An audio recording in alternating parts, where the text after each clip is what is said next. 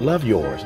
Love Yourz. Great That's- track. Oh man, that sums up the entire album and, and just what I've learned in my career, and that's what this entire album is about. When I was young, I thought that success was all I needed. That's what was gonna bring the happiness. Buying my mom a house, the fame, the accolades, having people say, "Yo, you are the best in the game." I thought those would be the things that would bring happiness. And then when those things came, the happiness wasn't there, and I, I realized there was such an attempt to achieve these things and to keep going, you lose sight of the people and the blessings that you have around you. You're so focused on the next success, the next step in your career, the next check, whatever it is, and you forget the fact that you have these things that seem small if you're looking that way.